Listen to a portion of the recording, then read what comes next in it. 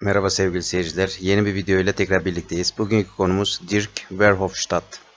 Dirk Verhofstadt 1955 doğumlu Belçikalı bir sosyal liberal teorist ve eski Belçika Başbakanı Guy Verhofstadt'ın kardeşidir. Politik felsefeye karşı büyük bir ilgisi ve felsefi görüşünde Karl Popper, John Stuart Mill, Amartya Sen ve Martha Nussbaum'un etkisi vardır. Gent Üniversitesi hukuk ve basın ve iletişim mezunudur. E, Hetmanselik Liberalizm yani Beşeri Liberalizm kitabıyla sadece Belçikalı değil aynı zamanda Volksparty, War, Wereld and Democracy ve Demokraten 66 gibi Hollandalı politikacıların partilerini etkilemektedir.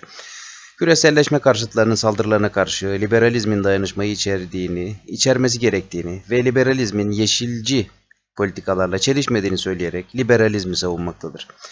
Plato, War, Het, Individualism ve çoğunlukla İslami feminizme ve bunun Avrupa'daki etkilerine odaklanan De Derde Feministisch Golf yani 3. Feminist Dalgası adlı kitapları yazmıştır. De Derde Feministisch Golf adlı kitap Ayağın Hirsi Ali, İrşat Manji, Naima Elbezaz, Nahet Selim, Naima Tahir ve Yasmin Allas ile özel röportajlar içermektedir. Liberal harekete dahil bağımsız bir beyin takımı olan Liberalizm üyesidir.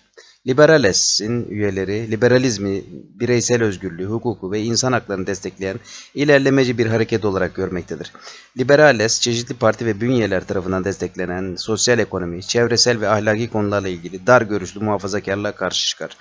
Görüşlerinin VLD adlı partinin çizgisini 1990'larda ve 2000'lerin başında özellikle kardeşi Gay'ın lideri olduğu zamanda merkez sağdan merkez sola kaydırmakta etkili olduğuna inanılmaktadır. Evet sevgili seyircilerim.